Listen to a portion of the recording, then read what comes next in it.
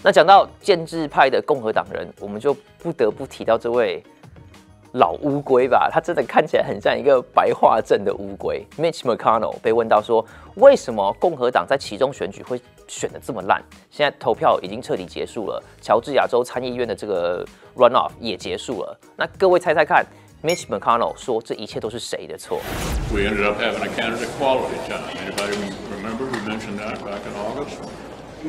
Look at Arizona. Look at New Hampshire. And a challenging situation in Georgia as well. We did, by we, I mean the Senate Leadership Fund, did intervene in two primaries in Alabama and in Missouri. And I do think we have an opportunity to relearn one more time you have to have quality candidates to win competitive Senate races. We went through this in 2010, 2012, Christine O'Donnell, Chairman Angle, Bob Aiken, Richard Murdoch, and unfortunately revisited that situation in uh, 2022. Our ability to control the primary outcome was quite limited in 22 because of the support of the former president tru- proved to be very decisive in these primaries. 各位有听到吗？ 不是他在把这个东错误怪在川普身上，或是怪到候选人的品质上面。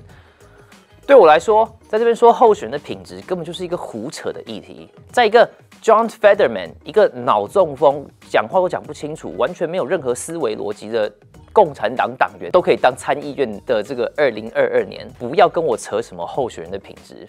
那个人要禁止石油开采，要大赦整个宾州监狱，然后把暴力犯罪全部放出来，听不到任何东西，然后讲话比我还结巴。竞选的时候根本没有出来，辩论还不如不辩论。这个样子的人都可以来当宾州的代表了，所以说我不想要听到什么候选人品质的胡扯。但是我想要各位注意到的重点不是这个。各位有听到这位 Mitch McConnell 乌龟仙人说，他们这次在控制党内初选的结果有一些问题。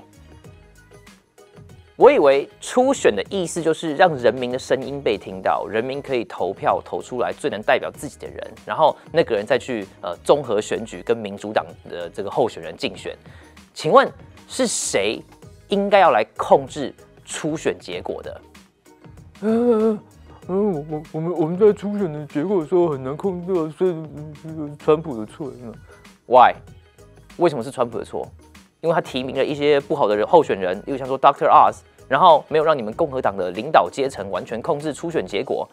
我以为共和党的领导阶层本来是不应该要介入任何东西的。我以为初选就是一般的共和党人或者是保守派、自由传统自由派、右派自己出来选出能代表自己的人，不是吗？但是很明显，这不是共和党要的。共和党的做法不是那样。这里告诉大家一个残酷的事实：共和党要的其实跟民主党一模一样，他们想要控制初选，他们不想要任何保守派有选择。然后 Mitch McConnell 在这边说，嗯，对啊，我们想要控制初选，这样才可以有更好的候选人出来啊，打败民主党啊。呃，对啊，我也想要有更好的候选人啊，但是我们不想要那些你提出来那些专门听你的话的人啊。这些候选人是代表我们的，是代表我的，不是代表你共和党哎、我不想要送一个带着红色领带的左派去华盛顿啊。而且我不相信，就是候选人的品质是亚利桑那州选举失败的原因。你共和党为什么没有帮？CARRY Lake？为什么加州 You First Campaign 的人你一毛钱都没有给？这些人你为什么都没有帮助？因为他们这些人不是跟你一样的建制派，他们参政是要代表我们的声音的，不是代表共和党的声音的，所以他们不会听你的话，为了自己的政治利益跟民主党协商，他们不会妥协。好处是现在的保守派。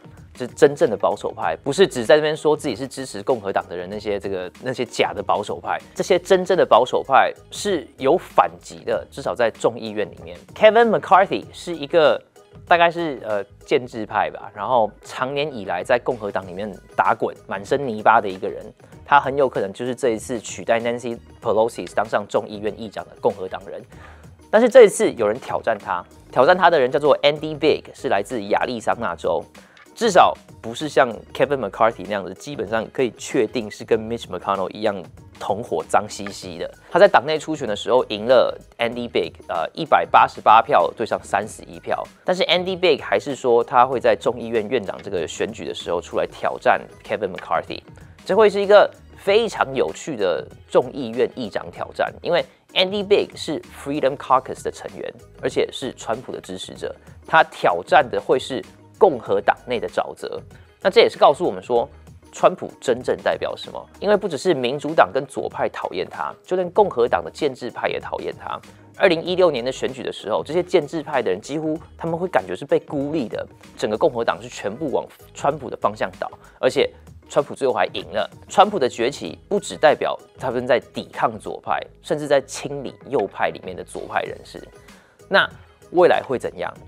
真的很难说。未来共和党会怎样？真的不知道。或许整个川普的 Mega 运动、Mega Movement、川普精神就是政坛的昙花一现，然后之后就回去变成呃两个想要控制人民的党互相抹黑的政治形态。因为共和党在右派群体的力量还是很大的，所以未来的发展真的很难说。我们只能祷告，然后加强自己，加强自己的家庭，加强自己的社区，期待神用我们的生命来影响其他人。